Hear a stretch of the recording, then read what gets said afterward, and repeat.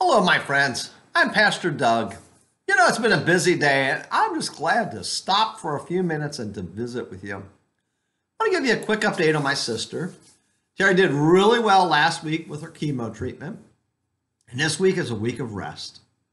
But I'm kind of excited. Next week is her last scheduled chemo treatment. Please keep her in your prayers. Every treatment, the surgery, all the tests have been trending in the right direction.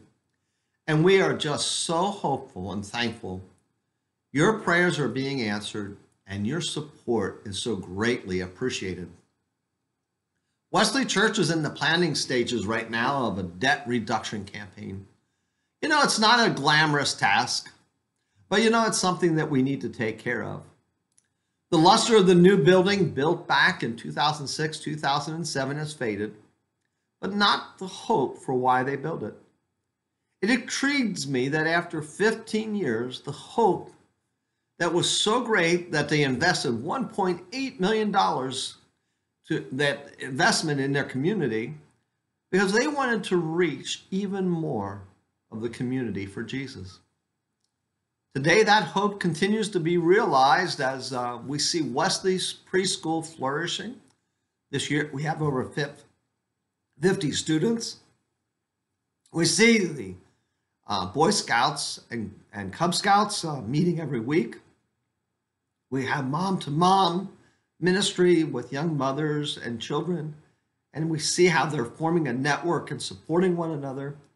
And we see men's breakfast continuing to reach out to the men of our community. These are just, me- just a few examples of how we continue to be able to reach out into our community and to share the love of Christ and to serve and care for those within our community. You know, I also have hope for the future because of Wesley Church, both as their pastor and on a personal level.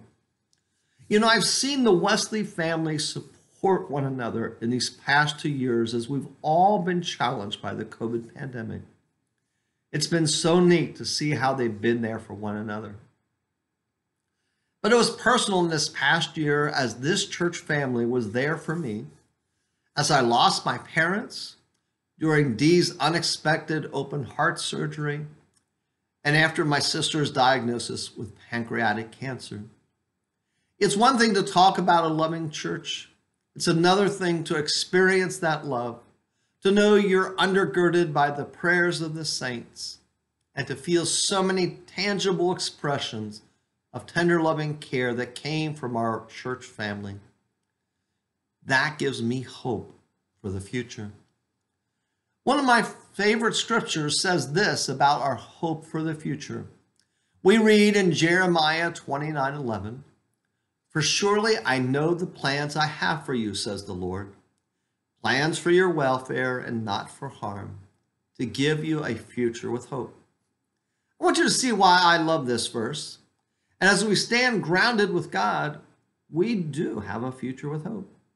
First, God has a plan. Now, I have plans, and I, am sorry to admit it to you, but more times than I like, those plans have failed. But you know what? If God has a plan, I know I can trust that He's got this. And it's going to all work out just as it needs to. I may not understand every turn or see how we're going to get there from where I am right now, but God's got this, and I trust Him. My hope begins because I know God has a plan, it's going to work out. And not only does God have a plan, but his plan is for our welfare. As I try to look up and, and better understand this word welfare, how it was being used, other translations use, instead of welfare, they talk about God's good plans, about peace, prosperity, and well being. Not only does he have a plan, but the plan is this, that he has going for us is to see you and I do well, for us to thrive and be at peace as a parent will try to provide these same things for a child, so God provides for you and me. My friends, know that God wants us to do well and to be at peace during the process. So, He has a plan, and He has a plan that He wants to see us do well. And finally, God sees a future with hope. God sees a better tomorrow. You know, right now with the pandemic, the greater tragedy might be that we focus on the pandemic rather than on God. We need to focus on God who will see us through and beyond this terrible time to a better tomorrow. God knows the way to a future with hope. God is who we need to trust. We need to trust in Him and in His Word, and we will find hope and strength until we get past these terrible times and we find that better tomorrow. You know, these words were written to a people in exile. It wasn't a little exile, it was going to be a 70 year exile. But Jeremiah reminds them that God will never forget them. When they seek and call upon the Lord, he will restore them. We too are a people that must look past the pandemic to God, who is our helper and strength, and who will surely give us a future with hope. My friends, I hope this short reflection today reminds all of us that we have hope for the future. We may we find that hope first and foremost with God. We find that our hope is in our relationships and certainly within our Wesley family. And we find that hope in our shared ministry as we seek to reach even more for Jesus. These are all the reasons we have hope for the future. Amen.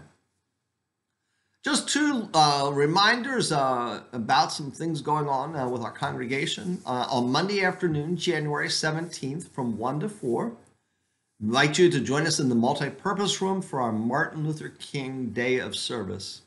Uh, we'll work to complete service projects which will support nonprofit organizations in the area. All adults, youth, and kids are welcome to come and lend a hand. The adult Sunday school class uh, is back in session. Uh, they meet via Zoom uh, every Sunday from 10:45 until noon. Uh, all are welcome to attend.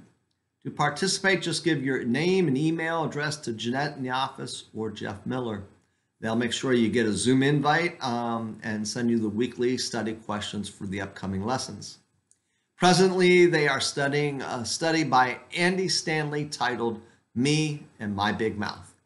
All are welcome. Please, my friends, consider joining us. Well, let's close this time with a word of prayer. Let us pray.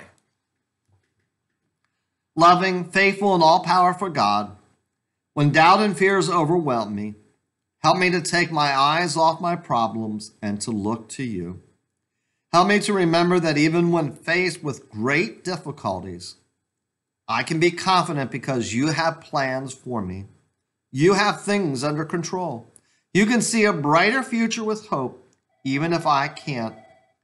Help me trust this truth and to trust you each and every day. We ask this in Jesus' name. Amen. Well, thank you for visiting with me today. We'll talk again soon, and may the peace of God be with you. Stay strong and stay safe. Bye.